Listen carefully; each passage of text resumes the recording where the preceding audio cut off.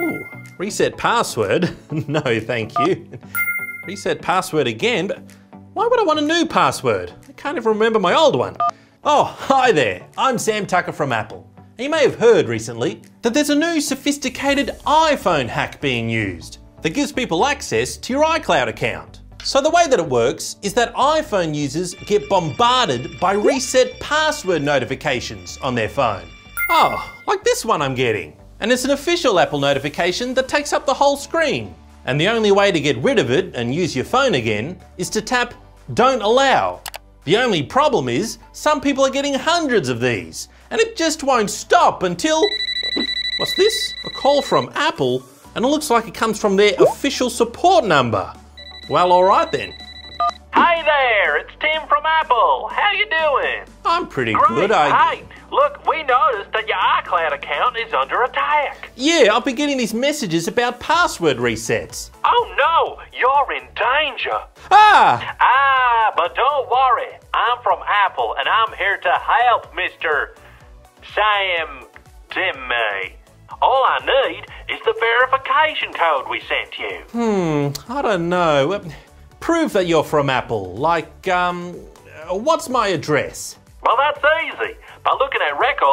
Publicly available online, I mean, by looking at your Apple account, we see that you live in the unlimited sock palace of Zimbabwe. Yes, okay. Um, well, what's my date of birth? It appears that you're born yesterday. Checks out. okay, the code is 422533. Great. Thank you. Hang on a minute. Uh, I've just been signed out of my iCloud account and, and all of my Apple devices have just been wiped.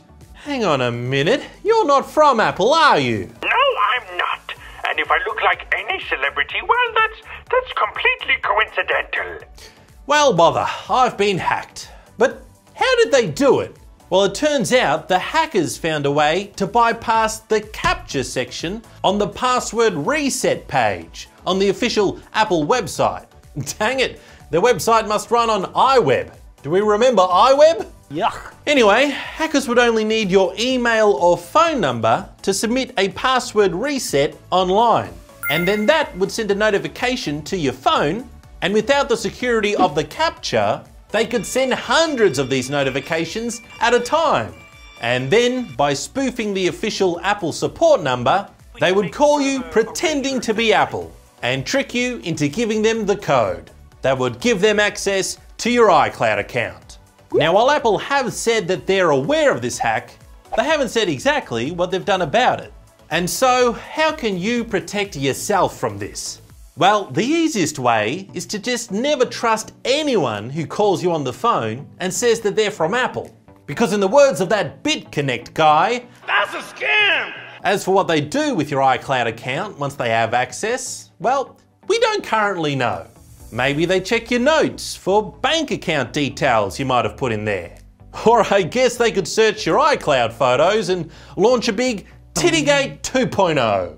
In fact, that gives me an idea.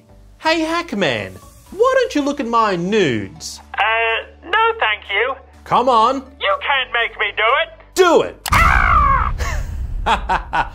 Gets them every time. Oh, my eyes. Subscribe today. Oh, hey everyone, don't hack phones.